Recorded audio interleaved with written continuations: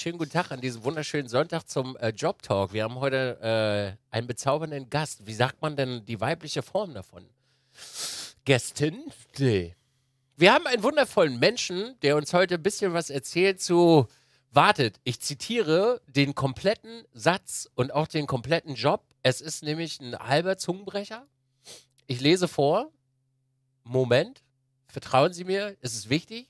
Steuerberatungs- und Wirtschaftsprüfungsassistentin bei einer Steuerberatungs- und Wirtschaftsprüfungsassistent Prüfungsgesellschaft in Berlin. Versteht ihr das Problem?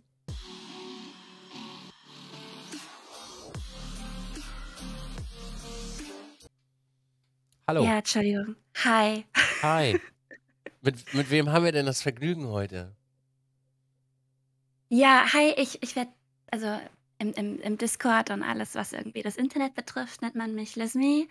Ähm, oder Liz ist cool. Ansonsten Lisa. Ähm, wir kennen uns ja beim richtigen Namen ja auch. Ähm, von daher, ja, Hallo, das Lisa. bin ich. Hi. Wie ist es denn? Bisschen aufgeregt, nervös, was von deinem Job zu erzählen?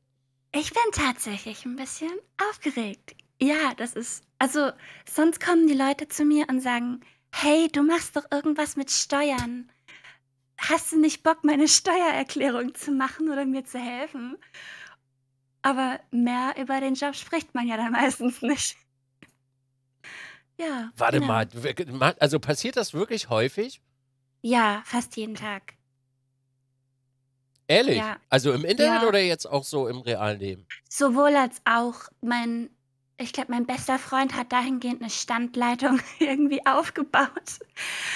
Hey, kann ich nicht das und das von der Steuer absetzen? Geht das nicht irgendwie? Ähm, ja, genau. Na gut, aber wenn man nun mal den Kontakt hat, also ich sag mal, bei Freunden ist das ja was anderes, aber wenn sich jetzt random Menschen fragen, ob sie denn, ob, ob du die Steuer machst?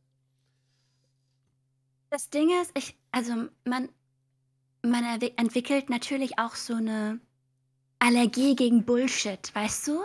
Ja. hinsichtlich steuerlicher Themen im Internet.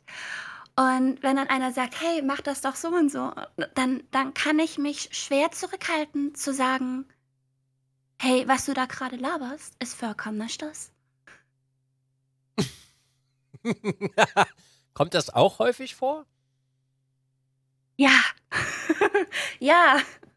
Also, vielleicht muss ich ein bisschen ausholen. Ja, mach. Ähm, ich bin, also ich habe ein, BWL-Studium gemacht und ähm, hatte eigentlich überhaupt nicht vor, in die Steuerberatung und Wirtschaftsprüfung zu gehen.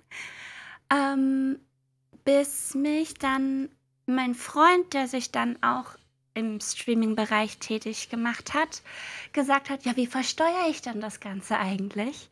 Also habe ich angefangen, mich damit zu beschäftigen. Und aus Hobby wurde dann Beruf. Ja, so viel dazu. Und jetzt arbeite ich seit Anfang 2020 in der Steuerberatung und Wirtschaftsprüfung und bin jetzt auch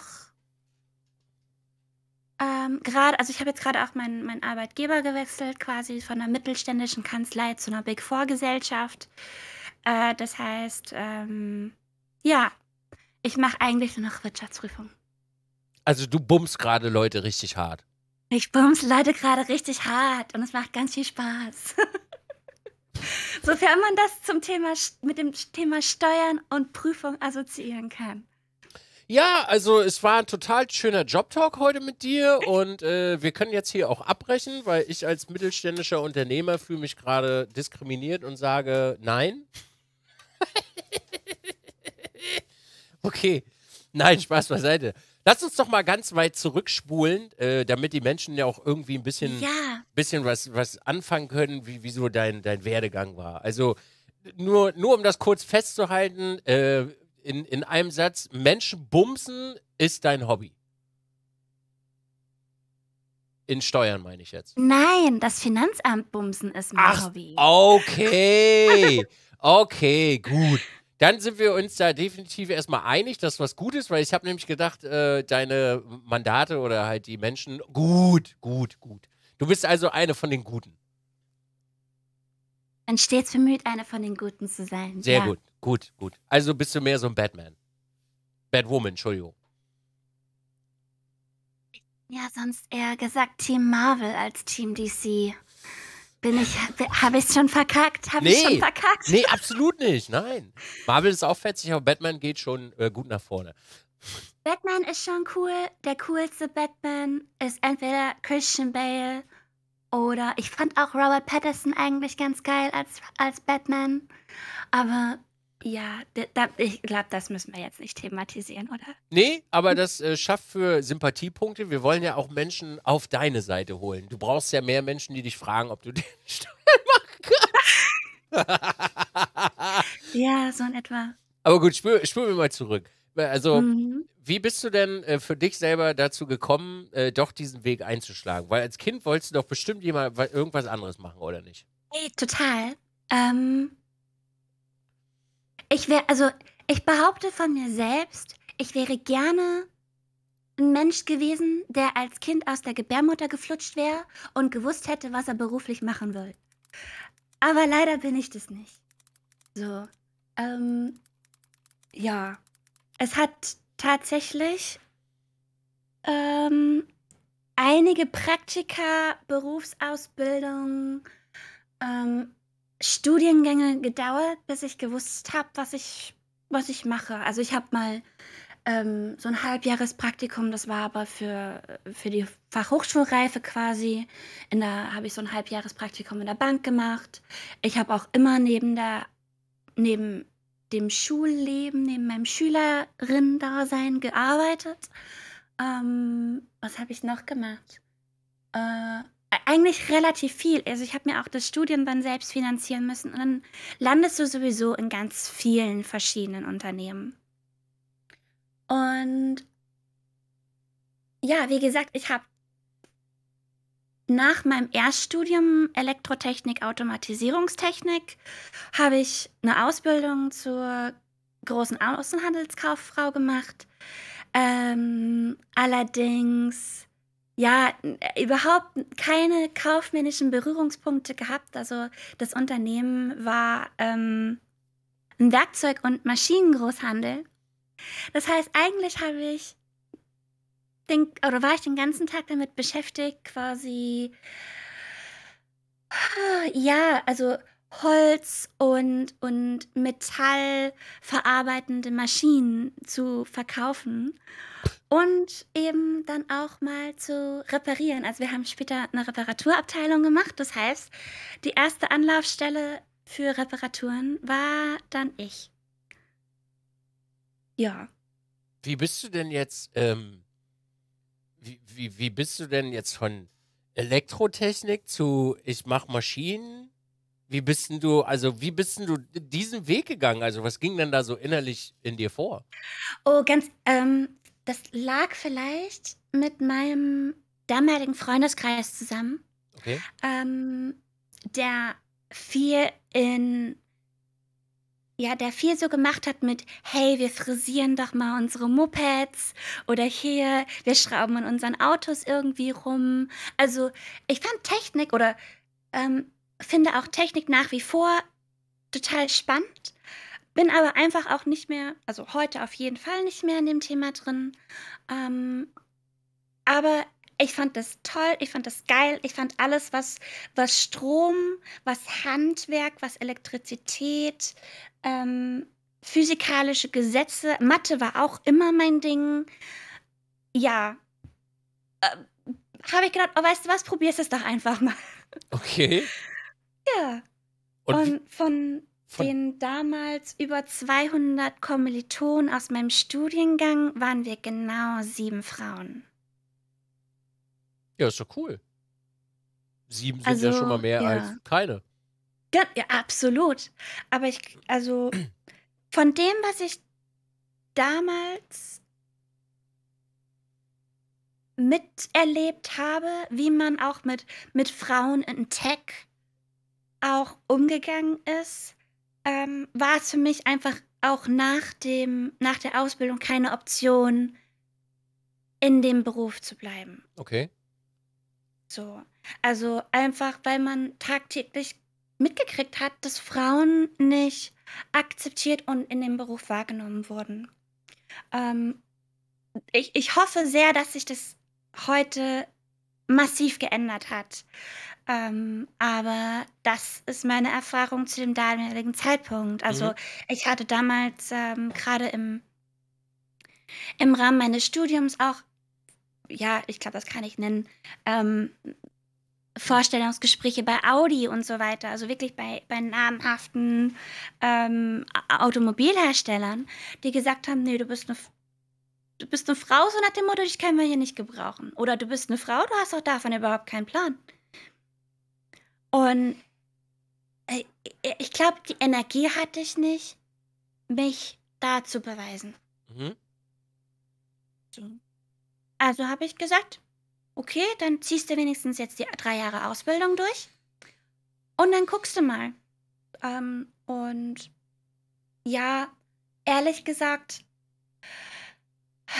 wenn man so in 'ner Kleinstadt irgendwie lebt, dann und und und dann frischer Kaufmann ist oder Kauffrau ist, dann bleiben vielleicht 1.100 € netto abzüglich Kosten dann noch irgendwie über.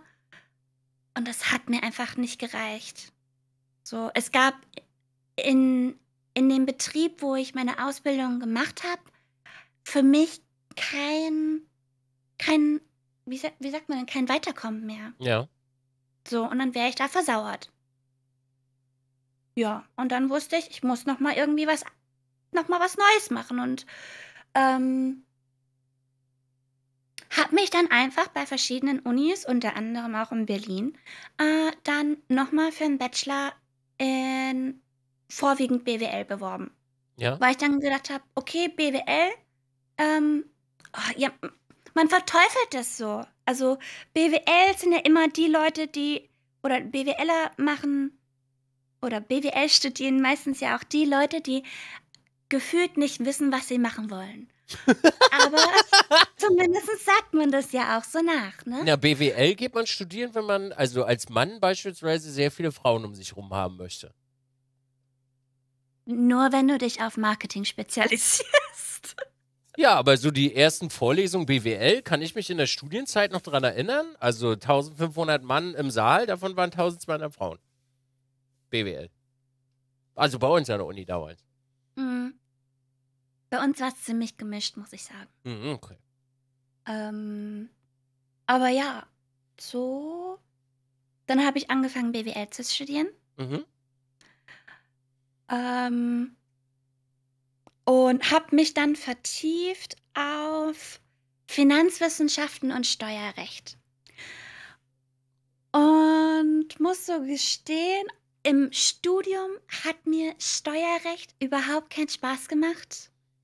Meine Kernfächer waren wirklich alles, was mit Finanzen, Finanzmathematik, ähm, Portfolioanalysen, äh, Börsenanalysen, ähm, Investmentbanking, das war mein Ding. Ich habe auch meine Bachelorarbeit im Bereich Investmentbanking geschrieben und gar nicht im zum Thema Steuerrecht. Okay. Äh, genau, also falls sich jemand mit mit Robo-Advisory irgendwie auskennt, ich habe dazu meine Bachelorarbeit geschrieben. Ähm, Der Stolz in der Stimme ist sehr schön. Findest du? Ah, es geht eigentlich. Wie, war nicht Aber so gut oder wie? Doch, das ist auch sehr gut benotet worden. Aber, ähm, ja, im im Endeffekt kann ich ja damit heute ja auch nicht mehr so richtig viel anfangen. Also, mir fehlt ja die Zeit, effektiv noch Märkte und und Börsenkurse und Nachrichten zu analysieren, ähm, in der Hoffnung, ich kann für mein privates Portfolio da irgendwelche Vorteile draus ziehen. Ja. Ähm, ja. Deswegen, ähm, für mich wäre es nach meiner Nase was heißt, wäre es nach meiner Nase gegangen? Dann hätte ich, glaube ich, was im im Bereich Investmentbanking gemacht. Aber alle anderen, also im im Bereich meiner Familie haben gesagt: „Boah, willst du dir das wirklich antun? ähm, und ich soll mir doch die Frage stellen, so nach dem Motto, ob ich A, dem Stress äh, an der Börse und im Investmentbanking gewachsen bin ähm, und auch, ja, vielleicht nicht, ob, ob ich mir diese Männerdomäne einfach wirklich nochmal antun will. Ja. So, also, genau. Und zu der Zeit, irgendwann um die Erstellung meiner Bachelorarbeit rum und glaube auch schon definitiv vorher, weit, weit vorher, hat mein Freund angefangen, auf Twitch zu streamen. Ja, und dann natürlich ergibt sich dann so ein bisschen die Frage, okay, was passiert eigentlich mit der Kohle? Ähm, und, und also wie muss ich das versteuern? Was muss ich damit machen? Wie gebe ich das in der Steuererklärung an? Muss ich ein Gewerbe anmelden? Es kommt doch gar nicht so viel Kohle gerade dabei rum, ne? gerade in den Anfangsstadien und so weiter und so fort. Ja, und ähm, dann fängt man an, sich in das Thema einzulesen und man hat sowieso natürlich irgendwie dann auch, ein, also durch das Studium, ein gewisses steuerliches Verständnis und dann fängt man da an, sich dann einzuarbeiten. Und als dann die erste Steuerprüfung dann auch kam, war ich dann so tief in der Thematik drin, zu sagen, hey, das Finanzamt hat mit seiner Einschätzung Unrecht. Und da habe ich gewusst, boah, da will ich hin. So, das äh, ist schon cool. Also, Und das macht mir Spaß. äh, also bei, deinem, bei deinem Freund damals kam, jem- äh, kam das Finanzamt und hat halt eine falsche Schätzung abgegeben. Richtig? Ja, Ja, so nach dem Motto. Also spätestens, wenn, wenn du umsatzsteuerpflichtig wirst, ähm, ich meine, das wirst du ja auch kennen. Ich gehe stark davon aus, dass du ja auch umsatzsteuerpflichtig bist. Nein, Ähm, ich bezahle keine nein. Steuern. Das sind alles nur Spenden. Ähm, dann geht es ja auch darum, was passiert mit den, mit den Twitch-Einnahmen, die aus den USA kommen? Was passiert mit, ähm, viele Streamer nutzen ja, glaube ich, auch Tippy Stream. Ja. Tippy Stream hatte seinen Sitz, hat, hatte seinen Sitz in, in Frankreich. Ähm, Amazon, äh, trotz Luxemburger ähm, Sitz, also, also die Gelder werden zumindest aus Luxemburg gezahlt, aber wie ist da eigentlich der Versteuerungsweg? Und wenn dann plötzlich irgendwie äh, eine größere Summe Geld plötzlich als nicht steuerbar deklariert wird, dann macht das Finanzamt erstmal, ja, aktiviert die Luke, die Lupe sozusagen Ja. und schaut da genauer hin. Ja, und dann ging natürlich erstmal die Debatte los. Beweisen Sie denn doch mal, auf welcher, oder sagen Sie uns denn doch mal bitte, auf welcher steuerlichen, auf, auf welchen steuerlichen Regeln, äh, zu, zu, zu welcher, ja, wie sag ich's denn? Ähm, also wie ich dann zu diesem Gutachten komme, dass das nicht steuerbar ist. Ja, und dann, dann setzt man irgendwie ein vierseitiges Schreiben auf und schickt es dem Finanzamt. Und, oh, ja, und dann ist das wieder fallen gelassen worden. Und so bist du quasi dahin gekommen zu sagen, auf Steuern habe ich Bock. Ja, weil ich gedacht habe, boah, ich kann mich da schon dran gewöhnen, ähm, dem Finanzamt permanent in den Arsch zu treten. ich muss, vielleicht auch kurzer Einwand. Ja. als ich angefangen habe, mir das alles zum Thema Twitch-Einnahmen und so weiter, also das ganze Thema Livestreaming, das ist so undurchsichtig fürs Finanzamt. Und ich bin auf so viele, viele Gruppen, Steuerberatergruppen, Foren gestoßen, die gesagt haben, ich habe auf das Thema gar keinen Bock. Ich habe gar keinen Bock, mich damit irgendwie reinzuhängen und mir die Mühe zu machen, mir das zu erarbeiten und so weiter. Also hatte ich den Eindruck, dass es diesen Markt für Streamer oder für Leute in dieser Branche gar nicht so richtig viele Leute gibt, die Nee. sich damit auskennen. Nee, leider nicht, nee. Ist auch heute noch so. So. Aber Ja. von da an bist du dann, äh, also dann hast du den Schritt gemacht, jetzt äh, Streamer zu betreuen oder also machst du das jetzt auch in der, in der Firma, in der du bist oder wie ging es ab da an weiter? Genau, also ich habe dann nach Bestehen meines Bachelors äh, habe ich dann einfach angefangen, Bewerbungen zu schreiben in 2020 und bin dann in einer mittelständischen Kanzlei gelandet ähm, und habe dann sowohl das Thema Steuerberatung, also auch alles rund um ähm, ja, viele freiberuflichen Tätigkeiten, also die Kunsthändler, auch mal den einen oder anderen Heilpraktiker oder der Autor oder der Musiker. Ähm, ja, auch mit, mitbetreut, aber natürlich dann auch ähm, dann, dann Unternehmer, die Großunternehmer und Unternehmen, Mhm. äh, gerade hier in Berlin sitzend, also alles rund um laufende Buchhaltung, laufende Umsatzsteuervoranmeldungen, äh, Jahresabschlusserstellung und so weiter und so fort. Okay. Ähm, aber auch, ja, also mei meine Arbeit ist in den 2 Jahren auch immer mehr Richtung Wirtschaftsprüfung eigentlich gegangen und gar nicht so richtig mehr zur Steuerberatung hin selbst. Ja.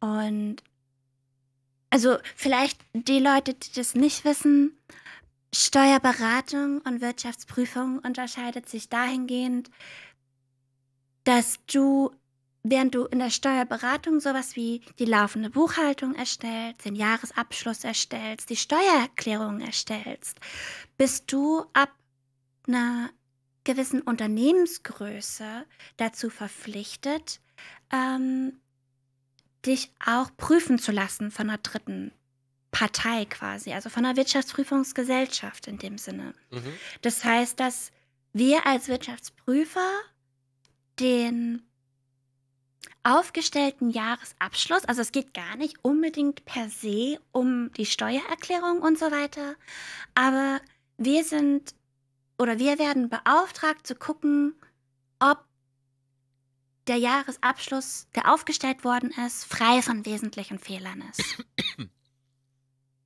Okay. Ja. Und das unterscheidet sich dahingehend, dass du ähm, auf einer anderen Art und Weise mit dem Unternehmen vertraut wirst. Und das ist der Grund, warum ich das, den Job auch so unfassbar spannend finde, weil nirgendwo wie in der Steuerberatung und auf jeden Fall auch nicht, äh, auch in der Wirtschaftsprüfung, hast du die Möglichkeit, in so viele verschiedene Unternehmen reinzuschauen. Du lernst die Prozesse der Unternehmen kennen, du lernst natürlich auch ne, das Fachpersonal kennen, also Leiter Rechnungswesen, CEO, CFO und so weiter, aber auch hin zum, zum kleinen Lagerarbeiter, wenn wir dann ähm, ja rund um den Jahresabschluss irgendwie mal gucken, ähm, ob, ob die Inventur richtig aufgenommen wird. Also das sind auch alles solche Sachen, die wir mitbetreuen. Und ähm, da geht es wirklich hin von, ja, also ganz unterschiedlich, dem, dem Trockenbauunternehmen zum Online-Großhändler, zum Stahlproduzierenden Unternehmen, äh, zum, zum großen Pressespiegel. Also alles ist da irgendwie mit dabei. Und da die Möglichkeit zu haben, ähm, so viele Unternehmen kennenzulernen, in, ich glaube, in der Position steckt kein anderer. Außer du arbeitest jetzt irgendwie in der Steuerverhandlung. In der, in der Steuerfahndung, ja, das ist ja die Gegenseite. Die mögen wir ja jetzt erstmal nicht. Genau. Oder Betriebsprüfer oder wie die sich sonst alle noch irgendwie schimpfen. Ähm, aber ja, das ähm, liebe ich unfassbar an meinem, an meinem Beruf. Wie alt äh, bist du jetzt, wenn ich fragen darf? Ich bin letzte Woche 33 geworden. Easy peasy. Dann kannst du ja jetzt zwei, drei Jahre Erfahrung sammeln und dann kannst du ja selber ein Riesenunternehmen aufmachen. In der Theorie, oder nicht? Weil du beherrschst ja, also du hast ja die ganzen Kenntnisse, oder nicht? Ja, ob man das immer ob man das immer selber machen will, ist natürlich die andere Frage. Ähm, dadurch, dass also ich befinde mich ja gerade in der in der Vorbereitung zum Steuerberaterexamen für nächstes Jahr. Also die Steuerberaterexamina finden jedes Jahr im Oktober statt. Mhm. Ähm, das sind drei Tage, wo A sechs Stunden zu verschiedenen Themen äh, ja, Prüfungen abgelegt werden. Da befinde ich mich jetzt schon in der Vorbereitung, also seit diesem Jahr im Mai, Juni. Und ja, mit einem Steuer, also als Steuerberater, als Steuerberaterin ähm, hat man da definitiv mehr Möglichkeiten, ähm, selbstständig auch zu arbeiten, beziehungsweise sind das die, die ja auch als, als freiberuflich tätig also die in der Kataloggruppe der Berufe ja äh, aufgezählt werden. Das heißt, da darf man ja sich wirklich auch freiberuflich nennen. Ähm, das ist anders als beim Wirtschaftsprüfer. Also beim Wirtschaftsprüfer brauchst du definitiv irgendwie auch ein größeres Team. Ja. Äh, sonst schaffst du das einfach nicht. Das ist, ja, genau. Wie viele Wirtschaftsprüfungen hast du denn im Jahr? Das ist ganz unterschiedlich. Ähm, bei meinem alten Arbeitgeber. Ah, willst du jetzt den, den Arbeitsumfang wissen oder die Anzahl der Mandate? Ja, die, die, also die Anzahl und den Umfang. Damit wir Der uns mal Umf- vorstellen können, was, was du meinst mit einem ganzes Team. Weil ich glaube, einige da draußen können sich nicht vorstellen, wie viel Arbeit in deiner Arbeit steckt. Okay. Ähm, gut, dann, dann muss ich versuchen, das irgendwie anders vielleicht noch darzustellen. Also bei meinem alten Arbeitgeber waren wir zu zweit im Team. Ähm, heißt aber auch, wir haben wirklich kleinere Unternehmen geprüft. Mhm. Ähm, jetzt muss ich überlegen, jetzt bei meinem neuen Arbeitgeber ist das Team zwischen 5 und 35 oder 50 Leuten auf einem Mandat, also auf einem Unternehmen. Und dann sind wir auch mal das ganze Jahr damit beschäftigt. Okay, da reden wir dann aber von millionenschweren Unternehmen. Dann reden wir dann natürlich auch von millionenschweren Unternehmen. Okay. Genau. Ja. Kann man sich das nur wirklich so vorstellen, dass ihr alle in einem Raum sitzt, an so einem riesigen Tisch und der ist einfach voll mit Akten? Die Wirtschaftsprüfung ist Gott sei Dank auch in der Digitalisierungs im Digitalisierungszeitalter angekommen. Woo! Also, ähm, von daher, nein, mit, mit Akten an sich haben wir tatsächlich wenig zu tun. Das kommt aber tatsächlich auf, ja, auf das Unternehmen selbst drauf an. Okay. Ja, also äh, aktuell, aktuell bin ich zum Beispiel auf einem Mandat eingeteilt, wo der Mandant sagt, wir haben unsere ganzen Belege und Nachweise nicht digitalisiert. Die haben wir nur in Papierform. So, ja, also. Ja, d- den, den Gesichtsdruck habe ich dann auch immer. ähm, wo ich dann sage, puh, ja, schön, wenn wir hier irgendwie ähm,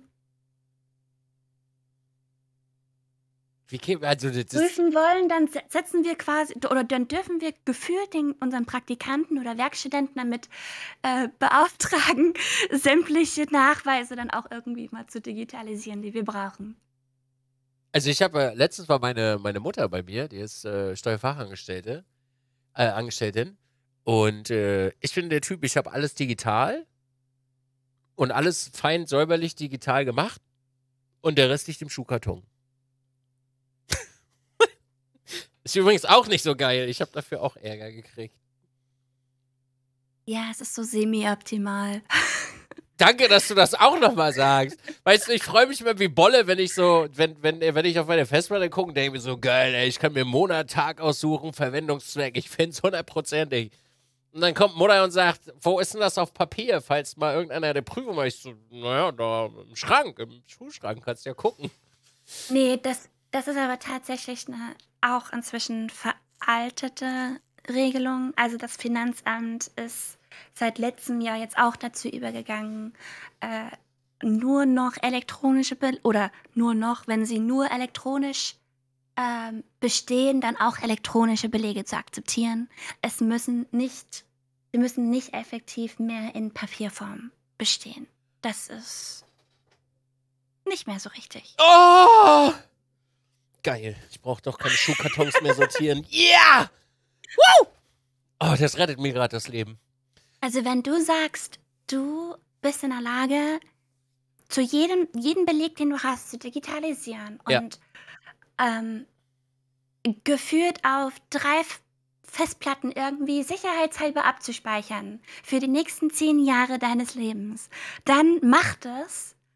Ähm, aber ich, also auch ich sehe nicht die Notwendigkeit, ähm, da irgendwas in Papierform noch zu machen. Und ich habe auch über, lass mich jetzt lügen, die letzten zweieinhalb, fast drei Jahre nichts in Papierform gemacht, wenn es nicht für meinen Vorgesetzten notwendig war, für meinen Alten, also Alten im Sinne von, ja, äh, Jahren an Lebenserfahrung.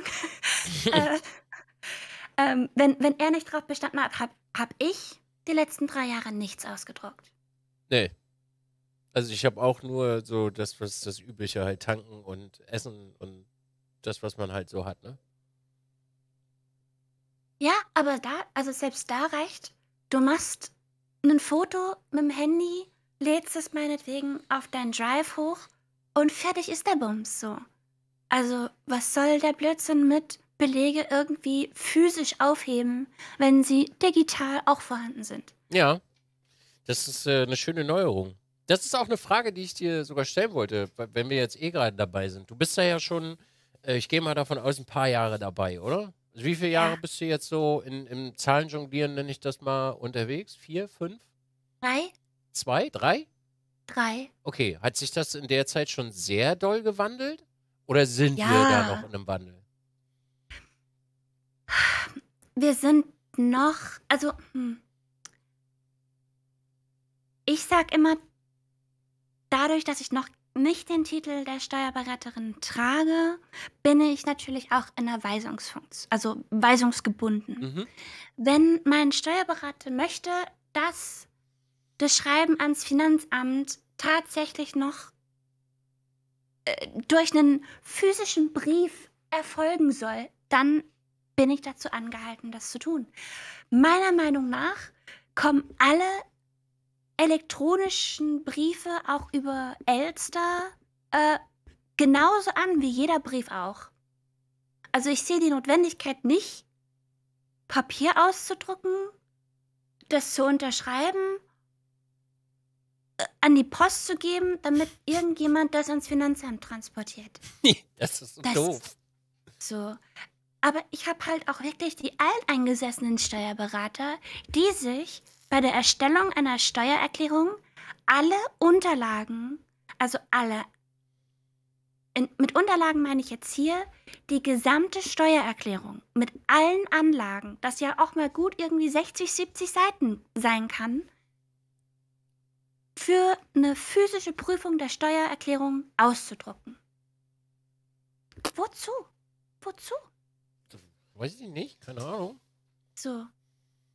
Also. Ja. Aber das ist ja, das ist doch das Schöne, wenn jetzt frisches Blut, sage ich mal, wie du, da hinterher rutscht, dass wenn du irgendwann mal eine leitende Funktion hast, dass das doch einfach dann weg ist. Also du sagst dann halt einfach klipp und klar so, nee, machen wir nicht. Ja, ähm, Also ich hörte auch schon von, von äh, Steuerberatern, die nehmen kein Papier mehr an. Wollen die nicht. Dann Nee. bist du bei denen kein Mandat. nee. Und das ist gut so. Was, was will ich denn, was will ich denn mit dem Papier? So. Wir hatten in der alten Kanzlei tatsächlich Mandanten, die mit acht bis zehn Schuhkartons in die Kanzlei gedackelt sind, äh, und gesagt haben, hier sind meine Unterlagen, mach mal. Aber we weißt du so, da bin ich ja auch erstmal drei Wochen damit beschäftigt, die ganze Grütze überhaupt zu sortieren. Ja, dann kannst du dich ja auch bezahlen lassen dafür. Ja, und mache, manche machen das ja auch. Also, wenn du die, die Leute hast, die dann sagen, hey, ich bezahle das, dein Stundensatz ist mir egal. Gut, okay. Aber ehrlich gesagt, das ist mir auch zu doof. Du, wenn ich das könnte, also wirklich, wenn ich das könnte, hätte ich jemanden, der meine Buchhaltung macht. Ich kann deine Buchhaltung machen. Nee. Also ja, aber nein. Ich habe mich da so dran gewöhnt, weil ich habe ich hab im Monat, also du wirst lachen, ich habe im Monat 30 Belege. Was brauche ich da jemand, der die Buchhaltung macht? Ja. So, wa- was soll das? Wir reden ja jetzt hier, wir reden ja jetzt hier nicht von, von exorbitant vielen Dokumenten. So, wenn ich im Monat 100 Dokumente hätte, ne, dann würde ich das ja noch verstehen, so. Aber mittlerweile dauert Buchhaltung eine halbe Stunde. So, also was soll das? Dann brauchst du ja nur wirklich wahrlich keine, keine Buchhaltung. Aber ganz ehrlich, wenn ich ein großer Unternehmer wäre, würde ich sagen, hier, pass auf, kriegst Festgehalt oder mach deinen Stundensatz, je nachdem, wenn du freischaffen bist. Ey, mach, mach bitte einfach alles hier. Du kannst du, rechne das bitte ab, rechne das vernünftig ab, dass du ordentlich bezahlt wirst und mach das bitte. Weil das ist einfach, darauf muss man Bock haben. Absolut, absolut. Und also nach anderthalb Jahren Buchhaltung hängt das einem auch zum Hals raus. Also für mich zumindest. Weil das muss man, wie du schon sagst, wirklich mögen. Man muss dafür brennen, nur das zu tun. Ähm, und das ist mit einem unglaublichen Stress verbunden, weil die Leute, die die Buchhaltung machen, in der Regel auch die sind, die deine Umsatzsteuererklärung monatlich oder quartalsweise oder jährlich dann erstellen. Ja. Ähm, und gerade bei großen Unternehmen, die das jeden Monat aufs Neue machen müssen, hetzt du von Abgabetermin zu Abgabetermin zu Abgabetermin. Ähm, und das ist, also das ist was, wo ich gesagt habe, hey, den Job, den gebe ich sehr dankbar ab. Ja. So. Also natürlich, es gibt äh, da definitiv auch, auch Tätigkeitsfelder, die auch mir nicht unbedingt immer Spaß gemacht haben. Wollte ich gerade sagen. Also ich meine, dein Werdegang, von wie vielen Jahren sprechen wir denn, bis du jetzt so, sage ich mal, das gefunden hast, wo du sagst, okay, da habe ich jetzt erstmal Bock drauf. Du hast ja nur auch ein paar Stationen schon durchge. Gute Frage, lass das zehn Jahre gewesen sein. Naja, guck mal. Aber du hast zumindest alles mal gemacht, dass du weißt, was die anderen Leute bei dir in der Firma machen. Das ist doch gut. A absolut. Und ich habe auch lange überlegt, also es gab vor ein, zwei Jahren gab es einen Bericht über eine junge Frau, Anfang 20, die gilt als die jüngste Steuerberaterin Deutschlands mit Anfang 20. Und ich habe lange gedacht, so, boah, eigentlich hat die alles richtig gemacht. Boah, in deren Schuhen wäre ich auch gern so einen klar strukturierten Lebenslauf. Aber im Endeffekt habe ich gedacht, nee, eigentlich hast du genau alles richtig gemacht. Und eigentlich, ich will nicht sagen, sie kann mir fast ein bisschen leid tun, aber im Endeffekt bin ich für jede berufliche Erfahrung dankbar, auch wenn sie nicht so gut war, denn dann kann ich für mich abhaken, das will ich in meinem Leben nicht machen. Oder das macht mir keinen Spaß. Oder da und da in solche Unternehmen will ich nicht hin. Und diese Erkenntnis ist auch wichtig. Das stimmt. Fast, fast noch wichtiger, als zu wissen, was mir Spaß macht. Ja, aber guck mal, jetzt hat sie ja mit 20, sagen wir mal, wenn sie das mit 20 macht, kann, hat sie ja mit 25, 26 so viel Erfahrung gesammelt. Da kann die ja machen, was sie will. Ja, auf der anderen Seite hat sie aber mit Anfang Mitte 20 das Ende der beruflichen Fahnenstange erreicht. Wieso, wenn sie. Zumindest, weil über dem Steuerberater kommt nichts mehr. Warum? Sie kann eine eigene Firma gründen. Ja, klar, ja, klar, aber in der Hinsicht weiterentwicklungstechnisch, oder sie hat ja auch, glaube ich, wenn ich den Artikel richtig in, in, in Erinnerung habe, Mhm. nie wirklich was anderes gemacht außer Steuerberatung. Hat einen, ne, einen, einen, wie sagt man denn, einen knackigen Lebenslauf. So, aber sie hat nur Erfahrung in dem einen Bereich. Was ist denn, wenn sie in ein paar Jahren feststellt, eigentlich war das alles für den Arsch? Na, dann hat sie so viel Lebenserfahrung gesammelt und hat so viel in Zahlen jongliert, dass sie eigentlich, würde ich sagen, genug Erfahrung hat, um sich was Neues zu bauen. Das hoffe ich für sie. Naja, also sagen wir mal so, wenn Mhm. du wirklich mit, mit 20 fertig bist, Steuerberaterin zu sein, dann hast du so viel Drive in deinem Leben. Also, das ist ja schon sehr, sehr früh. Dann hast du ja so viel Drive in deinem Leben, dass ja, also da ist ja fast nichts mehr Hürde. Weil, also ich sag mal, wenn du das Finanzsystem gedribbelt hast, dann ist doch nichts mehr eine Hürde, oder? Also sind wir mal realistisch. Weiß ich nicht. Also, ich kenne halt Leute, die dieses Examiner-Phishing halt betreiben. Weißt du, schnell, so schnell wie es irgendwie geht, die Examine abzuleisten. Ähm, aber das sehe ich halt auch einfach ein bisschen zwiegespalten. Mhm. Weil, weil sich ja so viel auch irgendwie beruflich tut. Und Ja. diese, wenn du die Examine aber abgelegt hast, dann, dann weiß ich nicht, ob man nicht in der Gefahr, in die Gefahr läuft, so ein bisschen zu stagnieren. Mhm. So. Aber ich glaube, das ist eine persönliche Angst, die ich habe, diese Stagnationsangst. Ähm, deswegen, das darf ich nicht auf, auf andere abwälzen. Ich denke, du, ich, ich denke, dass das von, von Mensch zu Mensch unterschiedlich ist, oder? Guck mal, wenn du jetzt sagst, dass du dich so ausleben kannst und das für dich perfekt passt, was ja scheinbar gut zu dir äh, passt, dann muss das ja zu anderen nicht passen.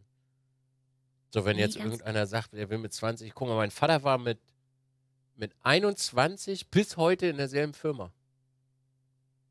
Ein und der war 40, über 40 Jahre war der in derselben Bude.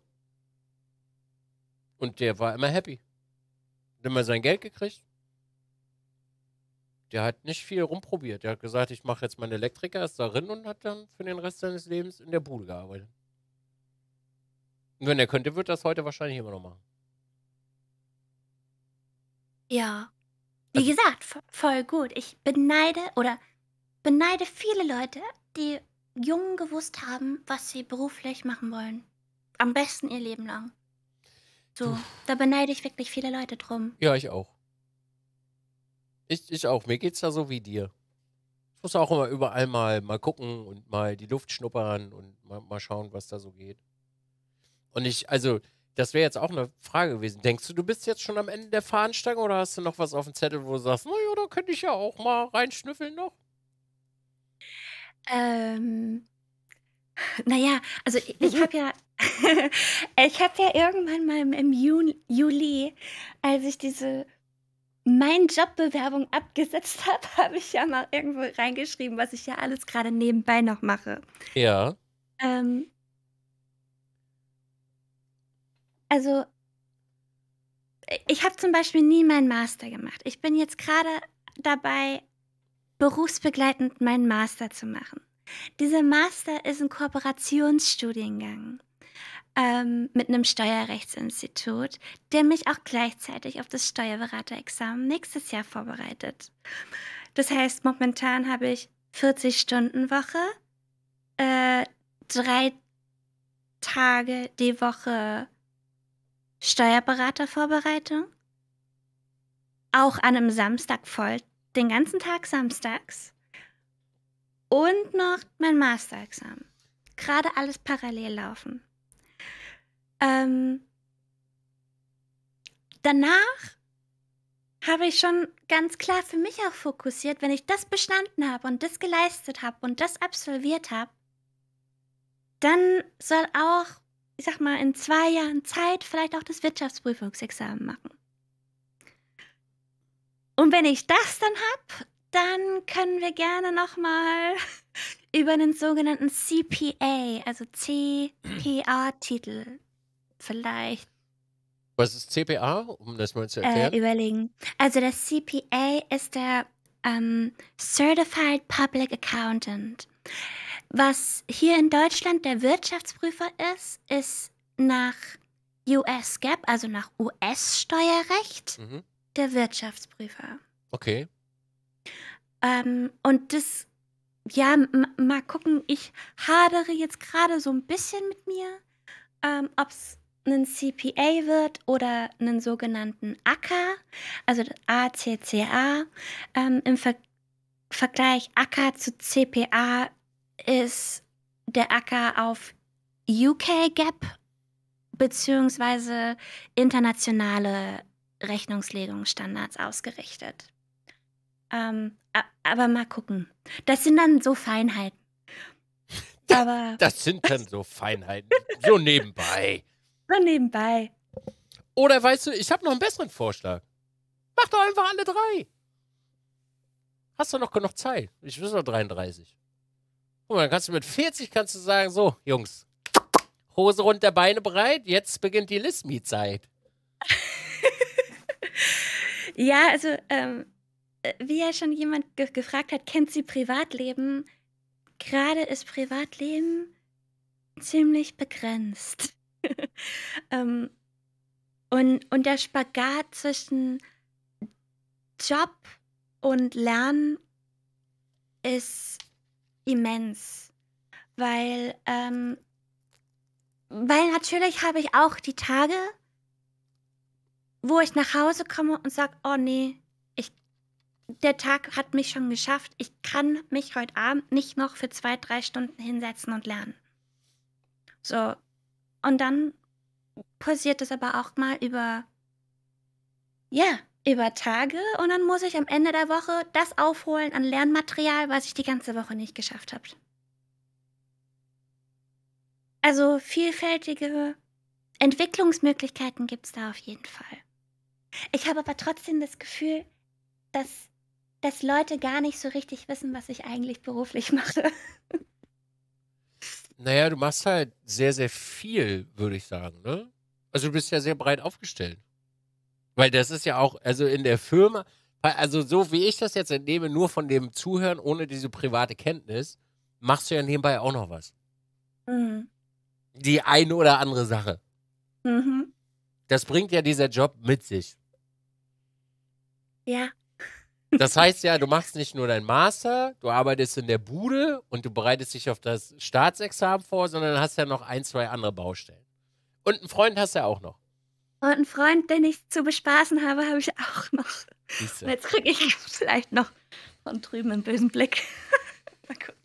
ja, aber du, das ist ja, wenn du dich dafür ent dazu entschlossen hast, das zu machen, ist das doch ein, ein, ist das doch schön.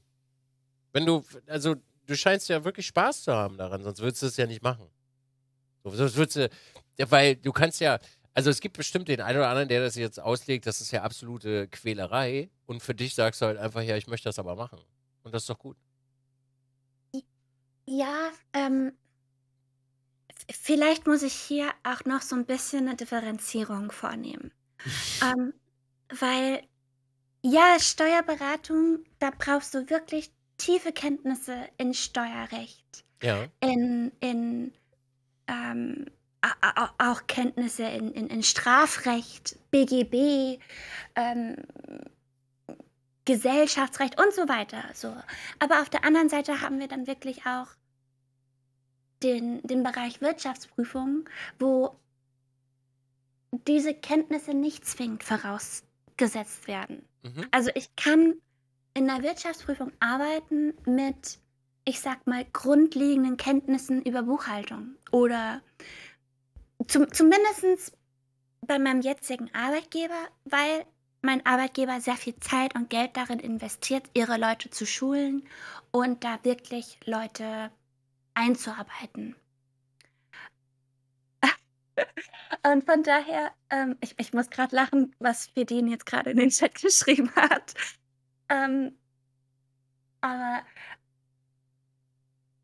das heißt, also im Endeffekt kann jeder mit einem bisschen Training und ein bisschen logischem Denken ein Unternehmen prüfen. Und ich. Das, ja. ist, das ist immer schön, wenn Menschen das aus ihrem Feld sagen ähm, und versuchen, andere zu erheitern und die sich immer so denken: hm, naja, klar, natürlich. äh. Das Ding ist, also mit mir jetzt im Oktober haben bei meinem Arbeitgeber Leute angefangen, die noch nie vorher was mit Steuern oder Wirtschaftsprüfungen zu tun gehabt haben. Mhm. Und die machen sich großartig. Aber natürlich ist das auch eine Sache des Eigenengagements. Aber das ist doch, also wenn ich weiterkommen will und wenn ich mich wirklich eigentlich für den Beruf interessiere, ist Engagement immer ein Thema. Ja, das ist richtig, aber das fehlt halt einigen Menschen. Ja, so. Ja, aber das, das Bauchweh, was ich habe, und ich glaube, deswegen war es mir auch ein Anliegen, ich sag mal, Werbung für den Beruf zu machen hier heute bei dir, weil gerade Wirtschaftsprüfung über diesem, über dieses Dach der Steuerlehre gefühlt schwebt, obwohl es das eigentlich nicht tut. Und in dem ganzen Bereich Steuerberatung, Wirtschaftsprüfung werden so viele Leute händeringend gesucht und man hat immer das Gefühl, es also niemand will den Job machen, obwohl es einer der sichersten Jobs ist, die du eigentlich haben kannst, weil immer es tut sich immer in der Steuer als auch in in der Rechnungslegung ändern sich Gesetze, es ändert sich laufend irgendwas, auch an beruflichen Standards. Oder man, man kriegt hier und da ein neues Mandat oder also da, da tut sich so viel. Und Leute, ich habe immer das Gefühl, Leute haben so viel Angst, ähm, sich bei solchen Unternehmen zu bewerben. Also wenn ich heute nochmal die Wahl hätte, würde ich da auch reingehen. Also, ja. wenn ich heute die Möglichkeit, also wenn ich jetzt, sag ich mal, wenn ich jetzt nochmal Anfang 20 wäre, würde ich da auch rein. Mit dem Wissen von heute. Weil? Weil es einfach so prägend ist für deine Zukunft, wenn du alt bist. Also ich merke das dann bei meiner Mutter. Meine Mutter ist einfach ein scheiß Fünfhead. Wirklich. Meine, meine Mutter ist Steuerfachangestelltin, also in Anführungsstrichen nur, die ist halt, was Geld angeht, ist sie ein Fünfer. Und das, du hast halt im Grunde genommen, bietet dir dieser Job die Werkzeuge zum Überleben. Und das wird immer gebraucht, weil Steuern wird es immer geben. Immer. Und da ich handwerklich nicht der, sag ich mal, Meister bin, wäre das für mich definitiv eine Option. Und deswegen würde ich da reingehen heute. Weil ich würde händeringend, also sage ich dir so, wie es ist, wenn ich die Möglichkeit hätte, so wie du, ein Unternehmen reinzugucken, ich würde da händeringend, würde ich da reingucken. Ich würde das aufsaugen wie ein Schwamm. Weil das ist, wenn du ein millionenschweres Unternehmen reingucken kannst und verstehst, was da passiert, bist du für den Rest deines Lebens safe. Weil da, das ist ja im Grunde genommen die beste Schule, die du durchgehen kannst, wo jemand etwas getan hat, was gut war und funktioniert und du das mitnehmen könntest und theoretisch adaptieren kannst. Absolut. Selbst wenn du sagst, hey, nach 15, 20 Jahren Steuerberatung, Wirtschaftsprüfung will ich keine Kanzlei mehr von innen sehen, dann hast du trotzdem so viele Einblicke durch den Beruf erfahren, dass du vieles Positives mit in dein eigenes Unternehmen integrieren kannst. Jupp. So. Ähm, ja, ich gebe dir da recht. Ähm, ja.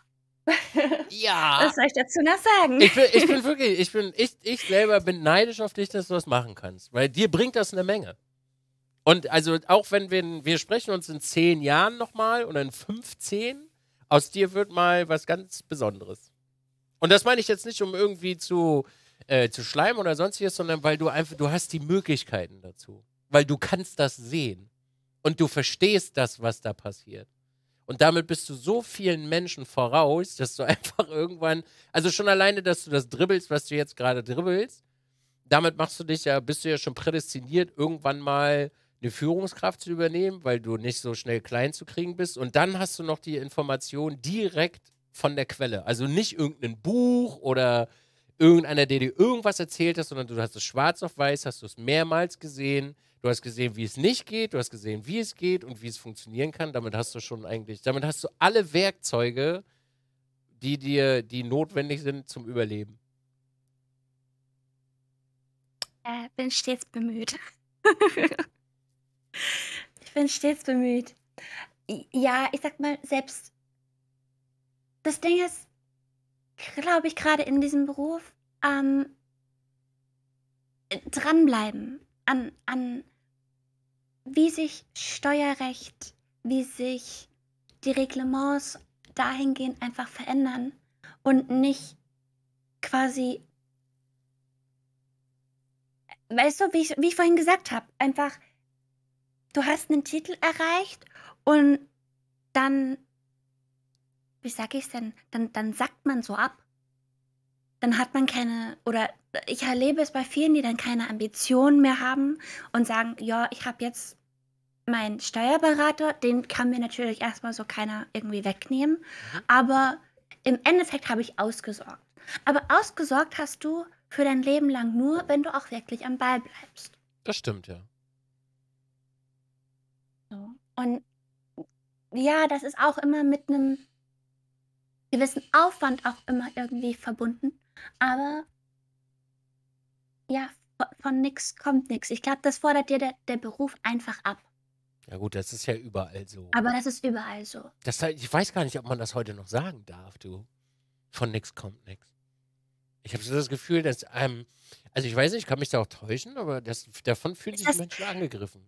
Ja, es ist, es, es ist einer dieser, dieser, ich bin da auch nicht auf dem neuesten Stand der Dinge, aber es ist einer dieser, dieser Sprüche, die man eigentlich nicht mehr sagen darf? Oder nee, nee, nee, nee, nee, nein, der stand nirgendwo. Nein, nein, nein, nein, nein, okay. nein, nein. Das, das nicht. Nein, nein, es geht einfach nur äh, darum, dass, äh, dass sich Menschen dadurch angegriffen fühlen. Von nix kommt nix. Weil wer möchte denn drei Sachen gleichzeitig machen? Noch heutzutage. Das sind ja wenige Menschen. Also ja, aber seien wir doch, also seien wir doch mal ehrlich. Ähm, äh, selbst irgendein Influencer, der mag vielleicht Glück haben und irgendwann mal im, im Spotlight landen, aber wenn er dafür nichts tut, um da auch zu bleiben, dann wird er da auch wieder schnell wieder rausfallen. Und so ist es aber überall auch. So. Wenn ich nicht selber hinterher bin, an mir selber zu arbeiten und für meinen, für meinen eigenen Weg etwas zu tun. Ja, okay, es gibt vielleicht die Leute, die dann sagen, hey, also, und die Menschen muss es berechtigterweise auch geben, die Menschen, die sagen, hey, ich sitze hier vielleicht an der Kasse und ich finde ich finde es hier großartig. Und die, diese Leute sind genauso wichtig für die Gesellschaft wie alle anderen. Natürlich. Ne? Und, und deswegen, ich, also ich will nur sagen, ich will das nicht irgendwie klein oder äh, schlecht reden. Aber für mich wäre das, glaube ich, nichts, weil ich das Gefühl hätte, wie in, meiner, in meinem Ausbildungsberuf zu stagnieren. ja. Ich feiere immer noch den, den, äh, den normalen Menschen. Der normale Job. Handwerker. Friseur, Krankenschwester, Pfleger. Die feiere ich alle. Die Bank durch, alle. LKW-Fahrer. Ja, Küssig. Also ich habe während, während meines Studiums, weil ich das selbst finanzieren musste, ähm, habe ich über so eine, so eine Personalagentur, ähm, habe ich für verschiedene Supermärkte an der Kasse gesessen. Mhm. Das war die genialste Erfahrung, weil diese Menschen eigentlich auch so viel ja, wissen müssen, Warenkunde, wie eine Kasse funktioniert. Also jede jeder Beruf hat natürlich seine eigenen Anforderungen, ne? Mhm. Aber man tut das so schnell immer irgendwie ab. So, der sitzt an der Kasse, der, der kann vielleicht nichts oder so.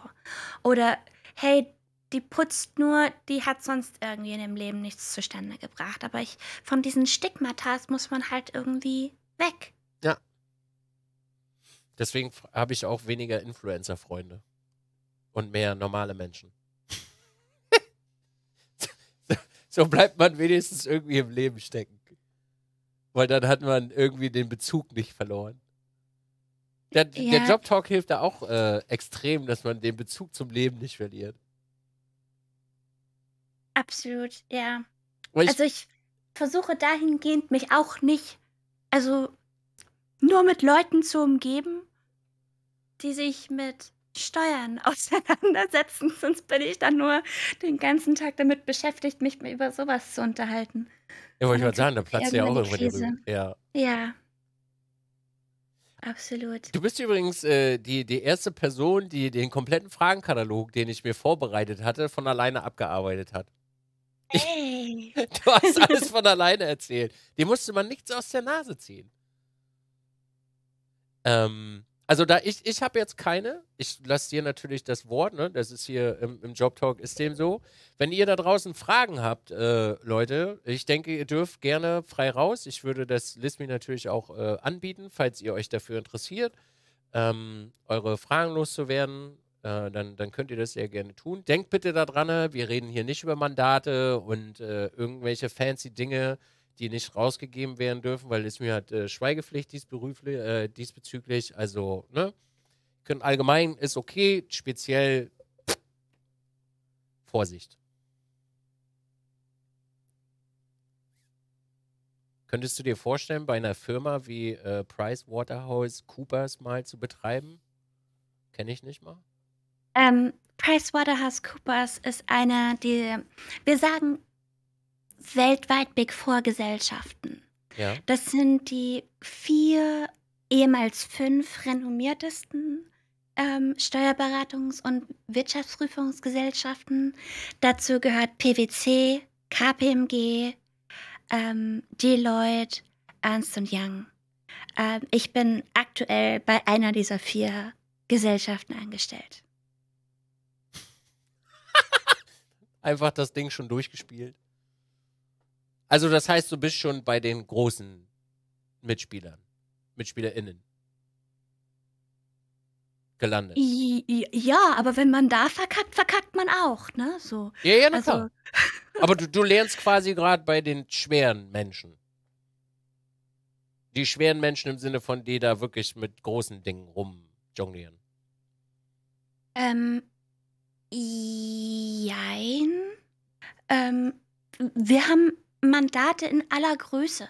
Mhm. Also von dem, von dem großen äh, DAX-Unternehmen, aber auch bis zum kleinen Start-up. Also ähm, gerade was Berlin betrifft, es, ist, ähm, es sind Startups gerade ja sowieso irgendwie immer ein Thema, aber äh, ja, das, also wir, wir betreuen alles, wenn wir den Zuschlag kriegen. Okay. Da kommt gleich eine gute äh, Frage noch von Absolut. Äh, spielt für dich der moralische Aspekt eine Rolle, äh, Mandate anzunehmen oder gibt es für dich überhaupt äh, Mitspracherecht?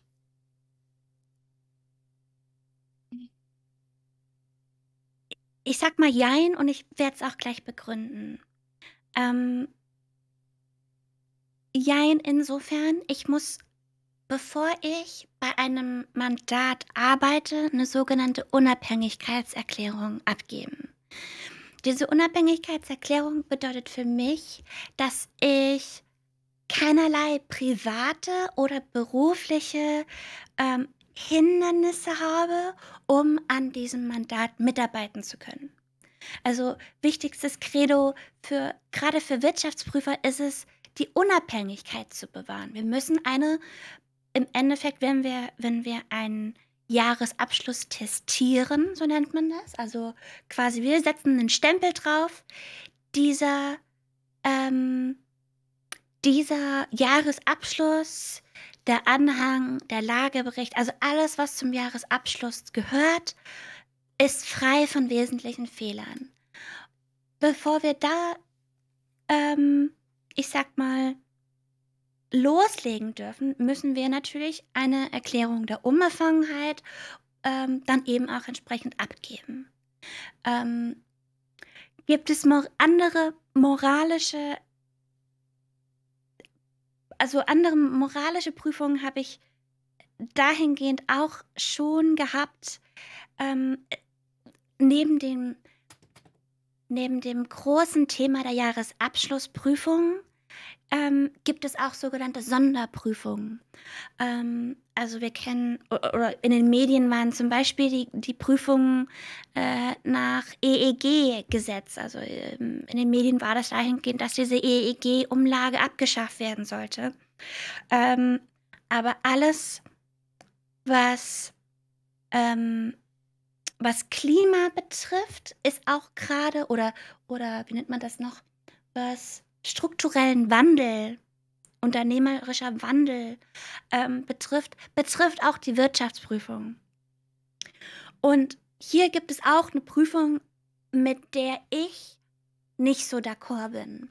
Das ist eine, die Prüfung nennt sich eine Prüfung nach Carbon Leakage. Also im Endeffekt geht es bei dieser Prüfung darum, zu bewerten, wie viele Abgase, wie viel Tonnen CO2 ein Unternehmen in, in einem bestimmten Wirtschaftsjahr, das muss ja nicht immer vom 1.1. bis zum 31.12. sein, ähm, ausgeschüttet oder in die Luft gepustet hat und kann dann beim beim ähm, ja, kann, kann dann bei der Regierung beantragen, dafür kompensiert zu werden.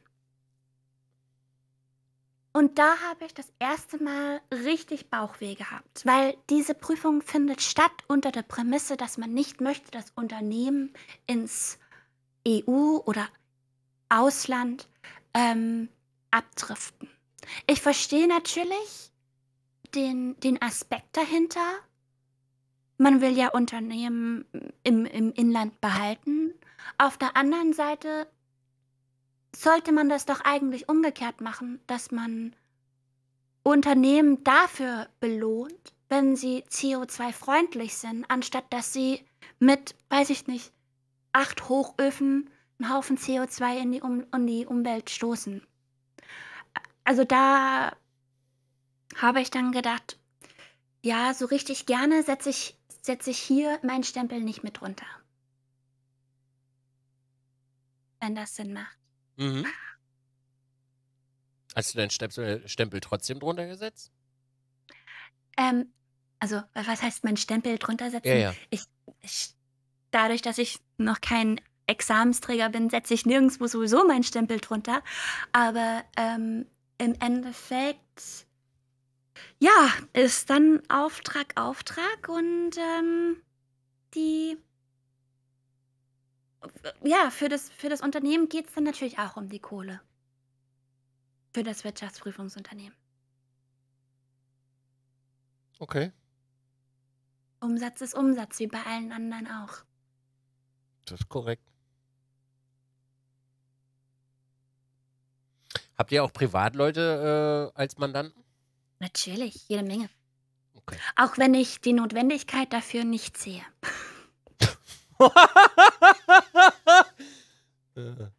ähm, aber, also, warum? Weil sie zu klein sind oder weil das keinen Sinn ergibt?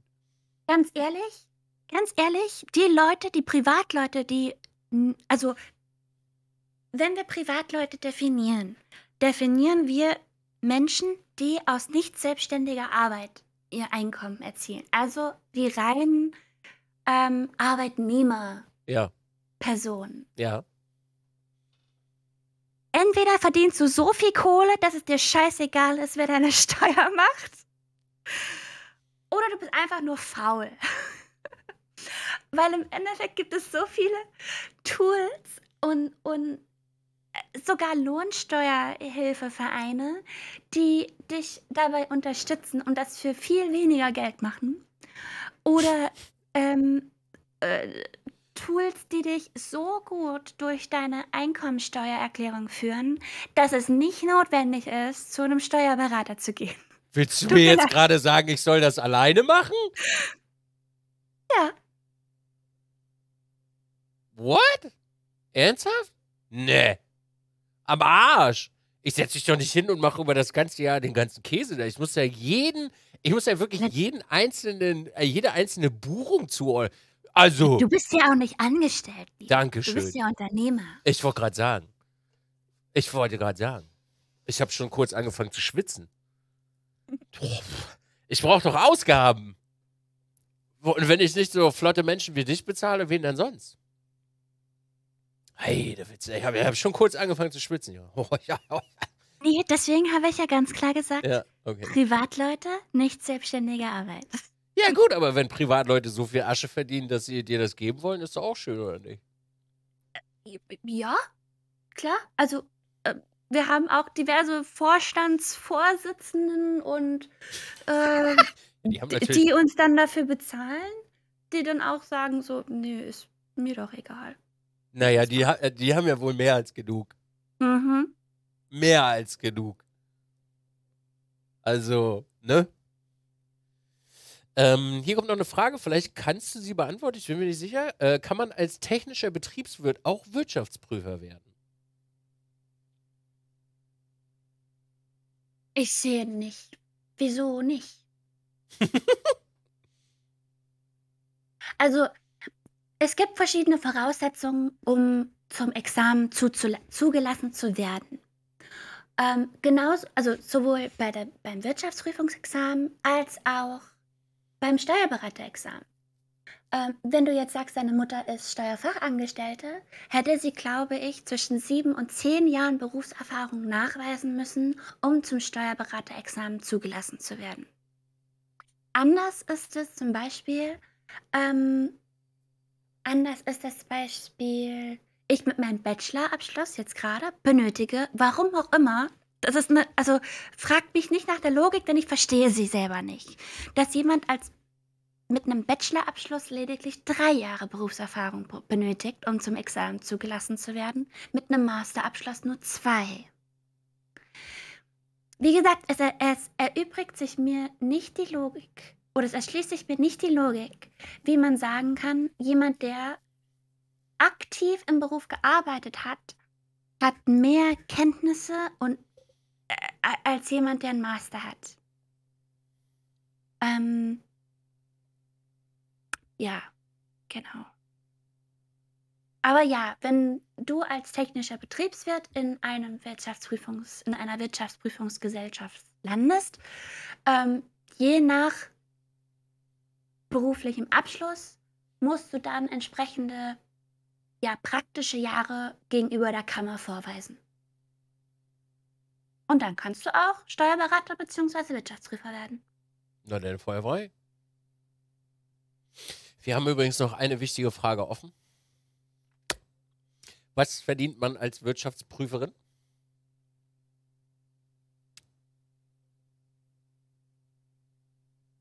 Es ist ganz unterschiedlich. Das, Es ist ganz unterschiedlich. das haben wir. Ähm, Das, das ist übrigens, das ist in jedem Job-Talk dieselbe Antwort. Das ist gut, ist schön. ich kann dir sagen, ich kann dir sagen, was mein Chef verdient. Bitte, wenn das geht. Ähm, Kann ja auch roundabout sein. also mein Chef ist, ist ja Partner, also er hat quasi den höchsten Rang in der Gesellschaft quasi erreicht und er hat sich so weit hochgearbeitet, dass er für den Standort, an dem ich bin, äh, auch die höchste Hierarchieebene erreicht hat. Und hier können wir dann schon mal sprechen von 500.000 Euro aufwärts Im Jahr. im Jahr. Dafür hat er hart gearbeitet. Gönnung. Dafür hat er auch, auch hart gearbeitet. Und dafür trägt er auch unfassbar viel Verantwortung. Unfassbar viel Verantwortung. Ist er Angestellter? Ja, ne? Ja. Okay. Mhm. Lohnt sich. Ich sag mal, ansonsten, ähm, wenn jetzt auch die, die Frage kommt, und als normaler WP, da sind durchaus Ah, die Bandbreite ist halt so groß. Es ist auch abhängig von der Gesellschaft, in der man arbeitet. Ähm, zwischen 100 und 250.000 Euro im Jahr drin.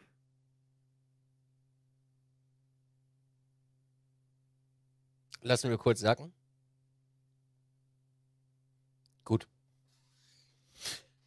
Schön.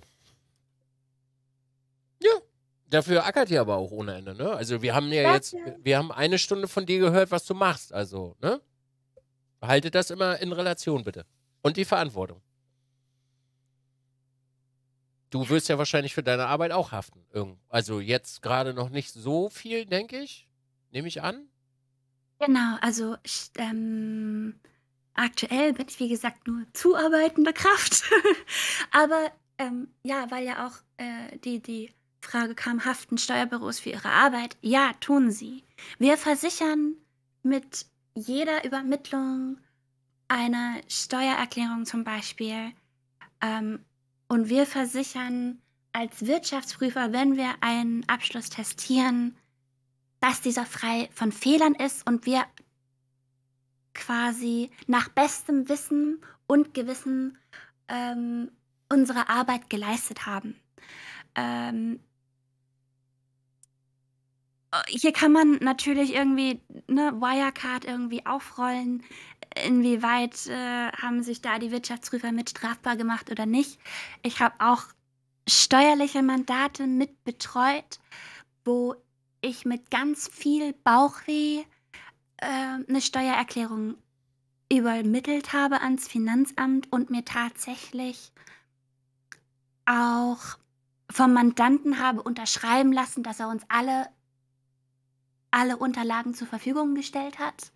Einfach aus dem Grund, weil wir die Erfahrung gemacht haben, dass besagter Mandant so ein Chaot war, dass wir nicht, dass wir nicht hundertprozentig dafür garantieren konnten, dass wir alle, alle Belege, alle Einkünfte wirklich ermittelt haben. Ah. Hm. Und dann gefühlt stehst du dann auch mit, ja, blöd gesagt, mit einem Bein im Knast. Verantwortung. Verantwortung ist ein ganz großes Thema in unserem Job. Lachst du viel über deine Arbeit? Lache ich viel? Hm? Über, also Ähm. über deine Arbeit, mit deiner Arbeit? So, was du die letzten Jahre erlebt hast? Es ist eine Mischung aus Lachen und manchmal Hände, äh, äh, Hände schütteln, äh, Kopfschütteln. ähm, Weil ich muss gerade sehr viel schmunzeln, wenn ich das höre. ja. Das kommt mir alles so bekannt vor. Also nicht von Spiegel- mir. Ich wollte gerade sagen, spiegelt dich das irgendwie wieder? Nee, nee, nee, wow, wow, wow. Also bis auf Schuhkartons ist für mir wirklich alles sortiert. Wirklich alles. Äh, Alles, weil ich habe mir das früh genug angewöhnt äh, und habe auch sehr früh Menschen gehabt, die gesagt haben, ey, äh, sortier, Alter, mach das ordentlich.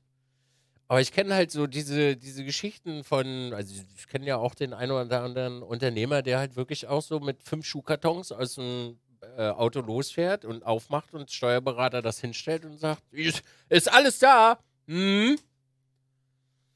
Ja, ist alles da. Und dann eine Woche später kommt der nächste Schuhkarton und der Schuhkarton und dann fünfmal wird angerufen und der regt sich dann auf der Baustelle halt einfach auf. Alter, was wollen die die ganze Zeit von mir? Die soll ich am Arsch lecken? Es ist doch alles da. Und dann kommt der nächste Schuhkarton und der nächste Schuhkarton und der nächste Schuhkarton.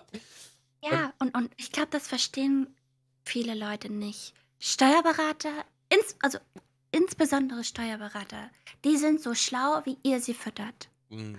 Wir können nicht alles wissen. Und wenn ihr einen Vertrag mit, also einen Beratungsvertrag mit einem Steuerberater eingeht, unterzeichnet ihr damit auch die, die Klausel, dass ihr als Mandant alles nach Wissen und Wissen und Gewissen tut und eine Mitwirkungspflicht habt gegenüber eurem Steuerberater, damit der für euch die beste Arbeit erbringen kann.